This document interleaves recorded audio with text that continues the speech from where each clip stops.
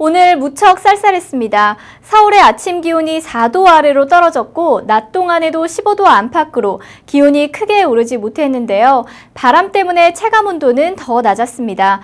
이런 때이른 가을 추위는 내일이 고비입니다. 내일 아침 대관령은 영하 5도까지 내려가겠고 그 밖에 내륙에서도 영하권을 보이는 곳이 있겠습니다.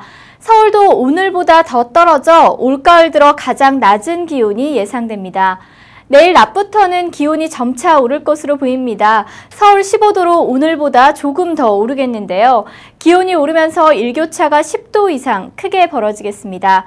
현재 전국이 맑고 서쪽에서 다가오는 별다른 구름도 없는 상태인데요. 밤사이 복사 냉각이 활발히 이루어지겠습니다.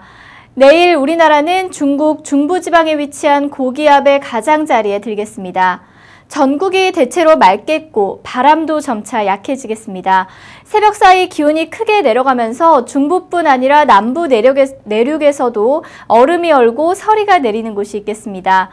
내일 아침 기온 오늘보다 더 내려가겠습니다. 서울 2도, 청주 3도 등으로 중부지방을 중심으로 5도를 밑도는 곳이 많겠는데요. 춘천은 영하 1도까지 떨어지겠습니다. 남부지방은 광주 5도, 부산 7도가 예상됩니다.